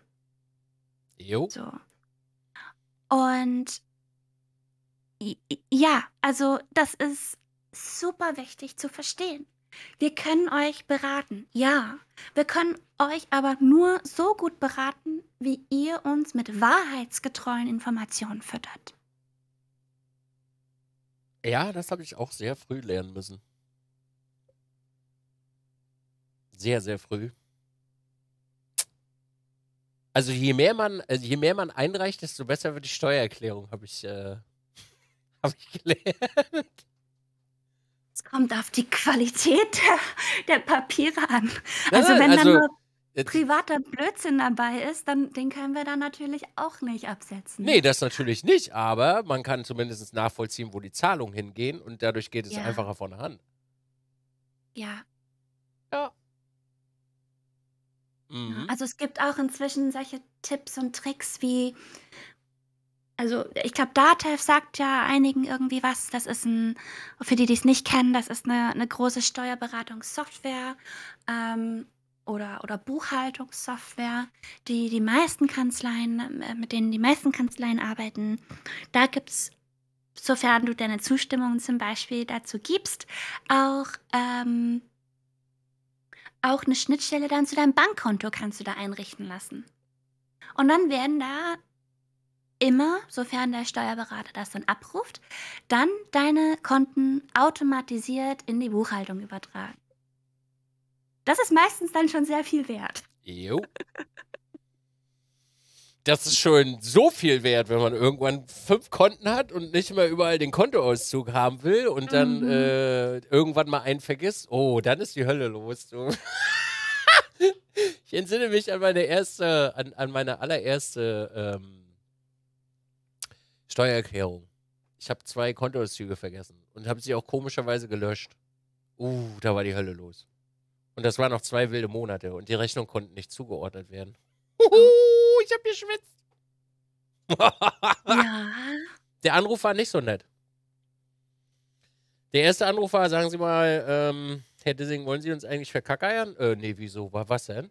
Ja, hier fehlen zwei, äh, hier fehlen zwei äh, Kontoauszüge. Ja, ist das jetzt so schlimm? Mhm, das ist sehr schlimm. Ich musste wirklich irgendwie dreimal bei der Bank anrufen, bis ich die dann nochmal wiedergekriegt habe. Und mein Steuerberater hat mich fast getötet. Oh, dann hat er aber eine kurze Schnur. Ja, der, Also hat, ich der hat eine sehr kurze Schnur gehabt, weil ähm, ich sehr jung war und halt auch mit dem, mit dem Verständnis dahin gegangen bin, ich stelle meinen Schuhkarton hin und der macht das. Dem ist aber nicht so.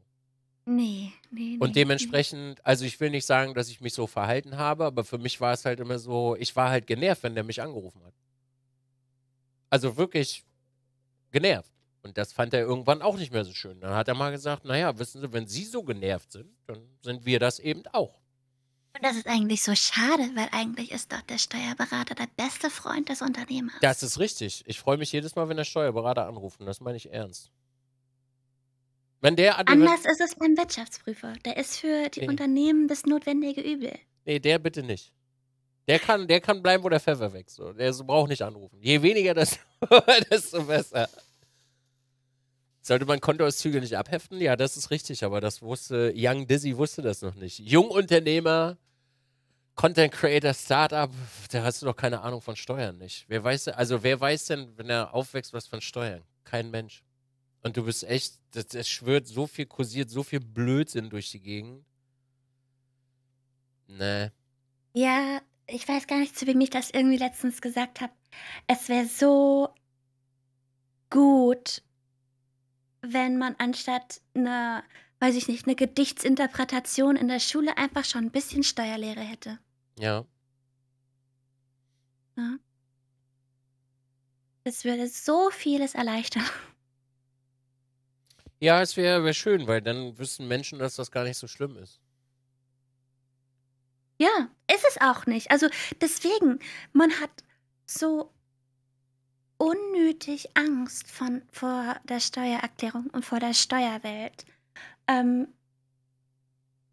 und äh, gerade bei, ich sag mal, dem, dem kleinen Privatmann, äh, dann, dann denke ich mir, ja, für euch tut sich doch gar nicht so richtig wirklich was. Im Endeffekt müsst ihr es nur runterschreiben. Aber selbst, ja, selbst damit sind ja viele überfordert, weil Bürokratendeutsch das einfach alles Scheiße. erschwert. Das, man versteht es ja auch nicht. Sag mal ehrlich, man versteht es nicht. Wenn man damit wirklich nicht viel zu tun hat, versteht man Mhm. das nicht. Mm-mm. Also ich musste, ich, ich entsinne mich noch dunkel, ich sollte mal bei, bei der Elster, äh, sollte ich mm, das Gewerbe fertig machen. Ich habe meinen Steuerberater angerufen, ich habe gesagt, wie viel Geld wollen Sie haben, dass Sie das machen? Wieso? Ey, es tut mir leid, aber nach, der, nach dem dritten Feld, wo ich die, das, dritte Mal denselben Scheiß eintragen musste, war ich raus. Tut mir leid, habe ich überhaupt keine Geduld für, für so einen Quatsch. Wieso, das ist doch voll schön. Ich so, na, ob ich da jetzt noch zehnmal 100.000 Euro eingebe, reicht das nicht auf einer Seite? Nee, tut uns leid, das müssen Sie halt nur wirklich leider machen. Ich sag, wie viel Geld, damit Sie das bitte machen? okay, Ja. wir, rech wir rechnen Ihnen das ab. Wir machen das für Sie. Dankeschön. Also es ist schon, es ist gar nicht so simpel. Also wenn man drinne ist, ist simpel, aber so, boah, Also ich auch gerade im, im privaten Rahmen arbeite ich eher mit, mit Elster, also auch für meine private Steuererklärung. ja. Ähm, und da hat sich auch so viel meiner Meinung nach ja kompliziertes, unnötiges getan. Ähm, ich war zum Beispiel, also es gab vorher ein, Steuerprogramm von Elster, jetzt passiert das alles nur noch online. Ähm, ich war großer Verfechter und großer Freund des Programms, weil gerade für diejenigen, ne, die, die nur Einkommen aus nicht selbstständiger Arbeit erzielen, die konnten am Ende des Jahres ihre Lohnsteuerbescheinigung nehmen und eins zu eins darunter kopieren. Einfach die Zahlen eintragen, das war absolut selbsterklärend. Ich fand das ganz klasse. Und jetzt ist es in Elster über mehrere Felder, über mehrere Seiten. Dann ändert sich auch von Jahr zu Jahr auch gerne mal eine, eine, eine gewisse Zeile. Das, das kriegt dann alles einen neuen, neuen Namen. Ähm, wo ich mir dann denke, warum? Ja, Warum? danke! Das denke ich mir bei jedem scheiß dreckigen Zettel, den ich ausfüllen muss. Warum zum Fick muss ich euch zum fünften Mal meinen Namen sagen? Das wisst Ja. ihr doch nun schon seit Jahren. Lasst mich doch einfach. Ihr wisst es doch. Fragt mich doch das nicht doch mal. Oh. Ich glaube, deswegen machen so viele auch keine. Nicht jeder ist verpflichtet. Also tatsächlich, wenn du nur, und das ist jetzt äh, ja keine St Steuerberatung, das ist nur eine Information. Mhm. Es sind nicht alle dazu angehalten, eine Steuererklärung zu machen. Wenn du zum Beispiel nur Einkünfte aus nicht selbstständiger Arbeit beziehst und wir lassen jetzt, also dazu zählen nicht die Leute, die jetzt äh, während Covid mit, mit Kurzarbeitergeld kompensiert wurden, die sind eigentlich nicht dazu verpflichtet, eine Steuererklärung abzugeben. Ich denke mir dann immer natürlich, warum schenkt man dem Staat freiwillig Kohle? Aber im Endeffekt sind sie nicht dazu verpflichtet. Ich kenne super viele, die das nicht machen. Super viele. Ja. Die sind aber auch am Wochenende zum Grillen eingeladen, wenn du verstehst, wie ich meine. Sehr häufig. Ja. Die grillen wirklich sehr viel im Jahr. Mhm.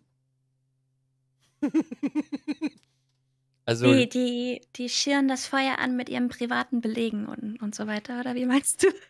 Nein, also äh, ich versuche das nett zu. Es ist sehr dunkel am Wochenende, Hm, wenn du verstehst, wie ich meine. ich glaube, ja. ja. Ja, und dann muss man ja auf dem Grill Licht anmachen. Da braucht man ja Hilfe. Mhm. Mhm. Mhm. so bin ich aufgewachsen übrigens. Also deswegen habe ich auch nicht so einen guten Kontakt äh, zum, zu diesen ganzen Finanzsachen. Außer, also mittlerweile geht das schon. Aber ich bin, also ich bin wirklich äh, um jeden froh, der einem da so ein bisschen durch diesen Dschungel hilft. Und das fand ich auch bei dir, als wir uns kennengelernt haben, fand ich das so schön, dass du das so in Einfachheit erklären kannst. Also du Ja, wobei, als wir uns kennengelernt haben, hast du auch erstmal geschluckt, nachdem ich dir gesagt habe, was ich beruflich anstrebe und mache. Ja, natürlich. Also, na klar, weil es ist ja auch ein, ein gutes äh, Brikett gewesen, was du dir vorgenommen hast. So. Aber war ja schön. Also ich habe mehr, also ich kann mich entsinnen, ich glaube, ich habe dich sogar noch ermutigt, das zu machen. Weil das halt gut ist. Also nicht jetzt diesen Wirtschaftsprüferweg, sondern dass du das halt weiter verfolgst, weil zu dem Zeitpunkt wusstest du es ja, glaube ich, auch noch nicht so richtig. Ja, irgendwie sowas, das ist gut möglich. Ja. Das ist doch geil. Ist doch schön, ich freue mich für dich. Dann hören wir uns in, in drei Jahren wieder und dann hast du noch mehr auf, dem- auf dem Kessel. Ja. ich habe da, also, ich bin halt gerade in einer Position, wo ich da ehrlich gesagt auch Bammel davor habt, ne? Weil im Endeffekt durch das Steuerberaterexamen fallen nicht ohne Grund über 60 Prozent der Teilnehmer. Und mit Examen und mit höheren Positionen kommt auch so viel Verantwortung, wo man auch für sich abschätzen muss, ob man diese Verantwortung auch eigentlich haben möchte. Ja. Also, Und ähm, mal gucken. Mal gucken, wo die Reise hingeht. du hast eine super Vorbereitung. Du kannst in so viele Unternehmen reingucken. Du hast Wissen for free. Und wirst, nee, du wirst für dein Wissen sogar noch bezahlt. Werd für mein Wissen sogar noch bezahlt? Und das, Ja, ja. weil, also vielleicht ähm, für die Leute, die das tatsächlich interessiert, den Tipp, schaut euch die Arbeitgeber gut an. Ähm, es gibt Arbeitgeber, die diese Examinarkosten auch zum Teil erstatten und mittragen und andere nicht. Und es gibt ähm, dann so Sachen wie Examensfreistellung, bezahlte Freistellung, die man für diese Examina auch braucht und benötigt. Aber, also ich kann so ein bisschen aus dem Nähkästchen plaudern. Mich kostet mein Steuerberaterexamen um die 25.000 Euro. Und die Kohle muss irgendwo herkommen. Und wenn sich da mein Arbeitgeber dran beteiligt, dann freue ich mich umso mehr, weil ich auch sehe, dass mein Arbeitgeber auch daran interessiert ist, dass ich diese Examine ablege und bei ihm bleibe. Und inzwischen, also mein alter Arbeitgeber hat das nicht zuge zuge zugesteuert, hat da kein Geld zugesteuert. Das heißt, ich habe das alles aus eigener Tasche gemacht. Ähm, und ja, dann überlegt man sich, wo die Reise für einen persönlich hingeht und was einem wichtig ist im beruflichen Alltag. Dein jetziger macht das aber? Mhm. Tja, die, Ja. wiss, die wissen halt, äh, das, das Gute ist ja immer Menschen oder Firmen, die gut Zaster machen, mit einem Job mit viel Verantwortung, die wissen schon, wo sie Geld ausgeben müssen. Weil das möchte ja, also ich sag mal so, dein aktueller Chef, der möchte ja irgendwann auch mal in Ruhestand gehen und dann weiter abschröpfen und muss sich ja darum kümmern, dass das läuft, wenn er nicht da ist. Weil er möchte, Absolut. er will ja auch weniger Verantwortung äh, haben irgendwann. Also wenn er dir, das Ding ist ja, guck mal, wenn du jetzt 33 bist und sagen wir mal, du bleibst jetzt noch 10 Jahre in dem Unternehmen drinne, dann kann er sich ja darauf verlassen, dass du in den 10 Jahren das gelernt hast, was wichtig ist, wenn er mal ruhiger macht. Ja. Also ist das ja für ein Unternehmen, vor allen Dingen ist das ja, sagen wir mal so, ich gehe mal ganz stark davon aus, dass du das steuerlich sogar noch geltend machen kannst. Mhm, natürlich. Also hast du ja dementsprechend auch wieder noch einen, äh, drückst du, senkst du ja dein, deine, Mein dein, zu versteinertes Einkommen, ja. ja, korrekt. Also, die sind ja nicht dumm. Also groß, die sind ja nicht so groß geworden, weil sie nichts können, so. Nee, Hm. nee, definitiv nicht. Ne? Aber vielleicht, um da gerade auch bei einer Big Four Gesellschaft vielleicht die Hürde zu nehmen. Wir befinden uns gerade in einem Arbeitnehmermarkt und die Hürden und Schwellen, gerade auch in einer Big Four Gesellschaft zu landen, sind nicht mehr so hoch geführt, wie sie es mal waren. Zumindest aus meiner Erfahrung heraus. Ähm, und diese, diese großen Gesellschaften, die geben dir halt auch so viele verschiedene Möglichkeiten. Auch dich zu spezialisieren oder dich auch dann mal in anderen Teams weiterzuentwickeln. Ähm, oder auch mal ins Ausland zu gehen. Irgendwie sowas. Das ist alles irgendwie möglich. Und das hast du nur bedingt bei kleineren Gesellschaften. Also ich verstehe das Argument, dass viele oder dass diese großen Gesellschaften so attraktiv sind. Aber man muss auch entsprechend dann was leisten. Also ähm, ja, man kann nicht nur einfordern, man muss auch leisten. Was geben. Genau. Das ist aber überall so. Ja. Ja. Also ich habe jetzt so keine Fragen mehr. Wenn du noch gerne was losmachen möchtest, kannst du das gerne machen. Ich fand das super schön. Es hat mir mal wieder ein bisschen äh, Wir haben uns schon lange nicht mehr unterhalten. Das letzte Mal, als wir Fotos gemacht haben, in Das 2018. letzte Mal, als wir Fotos gemacht haben. Ja. 2018, Mann. Und ich wollte doch mit deinem Mann noch mal grillen und dir. Das Angebot steht immer noch. Kommst Ja. einfach mal zum Grillen vorbei. Ja, wenn mein Auto da ist, grillen wir. Versprochen. So. Oder äh, sollte es im Winter noch kommen, essen wir Grünkohl. Oh, kann der das gut? Wir machen das sehr gut. Wirklich? Sehr guten Grünkohl. Okay, dann Grünkohl. Okay, dann muss ich das Auto beeilen. Ja, du, das ist, äh, hm, ja. Reden wir nicht drüber. Reden wir nicht drüber. Emotional Damage. Emotional Damage. Ja. Aber das machen wir sehr gerne, würde ich mich freuen. Ich muss sowieso äh, mit deinem, mit deinem, äh, ich sag mal, Gatten sowieso nochmal sprechen. Ich habe da einen Anschlag. Oh, oh. Ja, ja. Ich habe da was Ja. vor. Oh, es ist- sehr gut. Okay, Mhm. dann tu das. Ich glaube, er hört zu. Ich glaube, er lauscht. Nicken, wenn du lauschst da drüben. Ja, er ist hier. Ich, Ja, weiß, ich weiß, dass er da ist. Ähm, aber ich glaube, er hatte sich auch überlegt, äh, deinem Job-Talk mal zu joinen. Soll er tun. Ich warte. Ich warte wirklich sehnsüchtig darauf, dass er sich endlich meldet, weil das ist auch ein, ein sehr interessanter Werdegang. Weil da ist das ja auch sehr komplex und viele Dinge. Also do, do it, please. Mach. Ja, bei, bei ihm wahrscheinlich noch chaotischer und krasser und ähm, wilder als bei mir. Ja, eben. Aber das ist ja sehr interessant, weil das zeigt ja dann wieder den Menschen, was man so machen kann. Also muss ja nicht jeder mit 20 äh, ne, schon Steuerberaterin sein. Ja, ich glaube. Ja, aber ich glaube, es sind gerade noch ein paar Leute vor ihm. Müsste noch ein bisschen warten. Aber es Naja. wäre bestimmt ein interessanter Tag. Ja, sehr gerne. Also es ist ja bei der Terminvergabe äh, äh, ist ja alles easy peasy. Easy peasy. Und außerdem, den würde ich bestimmt auch durchmogeln.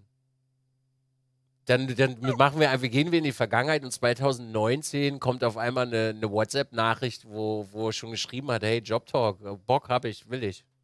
Da gab es das noch nicht mal. Mit. Hey, also ich kann auch Sachen frisieren, dass sie so aussehen, als wenn sie stimmen.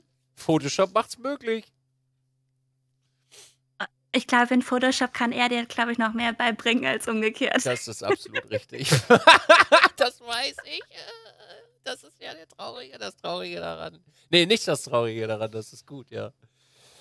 Oh, schön. Es hat mich wirklich Ja. sehr gefreut für, dein, äh, für deinen Besuch heute.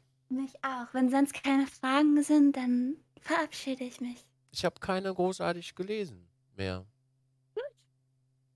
Supi. Also, wir, wir haben übrigens heute den 13.11.2022. Wir hören uns äh, in drei Jahren. War richtig, bist du fertig, ne? Äh, äh, ja, äh, gib mir, gib mir Mühe. Fünf? Lassen wir es auf, auf uns zukommen und ich, ich gebe dir immer mal wieder ein Update. 13.11.2027, nächster Talk mit Lismi. Wir gucken, wo sie ist. Wir brauchen, Okay. wir brauchen das Folgeinterview. Oh je, no pressure there. Der Witz ist, ich schreibe mir das jetzt wirklich in den Kalender. Das will ich sehen. Das will ich sehen. Ich no mir- ich- screenshot, no proof, it didn't happen. Ich schreibe mir das jetzt auf. Was haben wir gesagt? 2027. Ähm, November? Der 11. November 2027. Talk mit Lismi. Habe ich notiert. Es geht um 14 Uhr los. Und ich Mhm. mache ich mach, äh, eine Erinnerung ähm, eine Woche vorher und äh, Okay. einen Tag vorher. Habe ich mir jetzt notiert. Hier. Ich, äh, es gibt einen Proof, hier, Chat. Moment, da steht's. 11. November 2027, Talk mit Lismi, 14 Uhr bis 15 Uhr. Ist ein Donnerstag, Steht- aber ist Da steht okay. Lisme, das finde ich nicht. Lisme, das, die kenne ich nicht. Entschuldigung, das hat das Handy gemacht. Mann, ey. Oh. Das ist, Ich das ist fühle mich, gemein nie, jetzt. fühle mich noch nicht verpflichtet. Es, es tut mir leid. Muss ich dir jetzt ein, muss ich mir, muss ich dir jetzt ein Dokument schicken? Das hat jetzt wirklich das Telefon gemacht. Es ist. L-I-Z-M-I-E. Gut, jetzt habe ich das gemacht. Pass auf, jetzt zeige ich es dir nochmal. Fühlst du dich jetzt verpflichtet? Ja. Okay. Gut, dann haben wir, äh, dann haben wir jetzt Da offiziell. fehlt noch ein S. Wieso? Was denn jetzt? Wieso? Warte, warte, warte, warte. Warum fehlt da jetzt ein S? Oh, tatsächlich. Kann ich nicht einfach Lisa schreiben? Du kannst auch gerne Lisa schreiben. Nein, das ist dann nicht verpflichtend. Oder nein, Nein, das ist jetzt nicht verpflichtend. Wir machen das jetzt hier. Weißt du, was du in den Kalender schreibst? Was denn? Talk mit deiner neuen Steuerberaterin in 2027. Was? äh, Moment. Warte. Das finde ich viel besser. Talk mit äh, Lismi slash meiner neuen Steuerberaterin. Na, da bin ich ja mal gespannt. Steuerberaterin. Alter Witzka, Steuer. So, jetzt ist richtig. Das finde ich viel besser. Habe ich jetzt auch aufgeschrieben. Hier. Das ist jetzt Proof. Das ist ein offizielles Dokument hier. Da. Das ist jetzt ein offizielles Dokument. Jetzt ist es ein offizielles Dokument. So, das ist, äh, das ist die Kundenakquise hier. Ja. Ich finde ich find die Bewerbung von Paul so schön. Zwei Sätze, alle so ein Riesending. Ach scheiße, Dizzy kennt mich schon. Zwei Sätze werden wohl reichen. Der orgelt mich dann durch. Vitamin B. Ja, genau. Vitamin B. Ich wünsche euch beiden ein unglaublich schönes äh, Restwochenende. Viel Spaß Danke, das wünsche ich dir auch. Ja. in, in den Pyjamas und vielen, vielen lieben Dank für deine Zeit und deine Erklärung. Gerne, jederzeit.